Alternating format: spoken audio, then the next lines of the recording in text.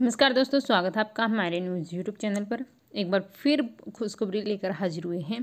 Fitment factor पर एक नई रिपोर्ट निकलकर सामने आ रही है। तीन गुना फिटमेंट फैक्टर से हमारे जो मोटे कर्मचारी और बिना भत्ते के खाते में लगभग एक लाख रुपया आपके खाते में ट्रांसफ़र होने जा रहा है।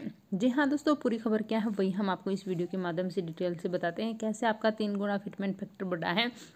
क्या है ताज़ा रिपोर्ट, वहीं डिटेल से बताएँगे। जुड़े रहिए हमारे साथ इस वीडियो के लास्ट तक।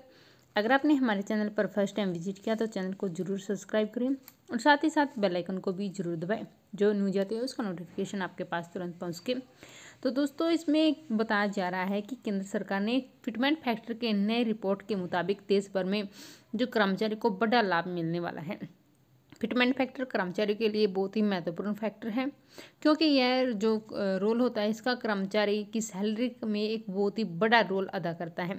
इस फिटमेंट के तहत कर्मचारी के वेतन में ही नहीं, बल्कि डीए में भी बड़ा फ़र्क दिखाती है।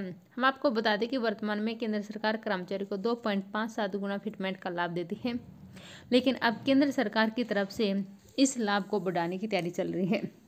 सितंबर माह में लेबर मिनिस्ट्री के द्वारा जारी किए गए एआईसीपी इंडेक्स के आंकड़े में ग्यारह फ़ीसदी की बढ़ोतरी की गई थी। और इसी बढ़े हुए आंकड़े के आधार पर सरकार कर्मचारी को वेतन बढ़ाने की तैयारी कर रही है। ऐसा इसलिए कि भारत में बढ़ते महँगाई को लेकर कर्मचारी में काफ़ी दिक्कतों का सामना करना पड़ रहा है। इसके चलते सरकार इस मामले में कड़े कदम उठा रही है। एआईसीपी के रिपोर्ट के मुताबिक अब सिर्फ़ महँगाई बताई नहीं, बल्कि सरकार फिटमेंट फैक्टर भी बढ़ाना होगा, जिसका लेखा जोखा इस खबर में आ रहा है दोस्तों। फिटमेंट फैक्टर को बढ़ाने से कर्मचारी की सैलरी में कितना उछाल देखने को मिलेगा? हम आपको बता दें कि अगर हम आपके जो कर्मचारी हैं, हमारे जो कर्मचारी हैं, उसकी सैलरी इक्कीस हज़ार रुपये है, यानी कि मूल वेतन इक्कीस हज़ार रुपये है। तो दोस्तों, फिटमेंट फैक्टर दो पॉइंट पाँच के साथ के हिसाब से तिरपन हज़ार नौ सौ सत्तर रुपये बिना भत्ते के। वहीं अगर फिटमेंट फैक्टर तीन पॉइंट छः आठ गुना होने पर सतहत्तर हज़ार दो सौ अस्सी रुपये होगा। दोस्तों, इसमें आपको सताईस हज़ार सात सौ पचास रुपये तक की फ़र्क आपको देखने को मिलेगा। हालाँकि कर्मचारी संघों द्वारा फिटमेंट फैक्टर को जल्द से जल्द बढ़ाने के लिए केंद्र सरकार पर दबाव बढ़ा रही है और केंद्र सरकार इस पर विचार कर रही है। जल्द ही फैसला लिया जाएगा। सरकार जल्द ही इस पर बड़ा फैसला ले सकती है।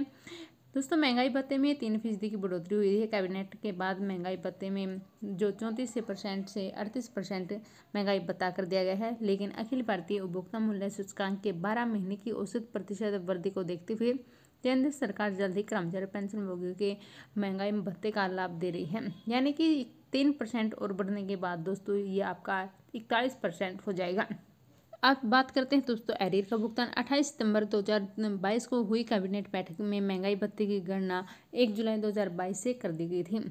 जानी थीम लेकिन अभी तक इसके भुगतान को लेकर कोई जो आधिकारिक बयान सामने नहीं आ रहा है, जिसकी वजह से कर्मचारियों को इस बात को लेकर बड़ी मायूसी छाई हुई है।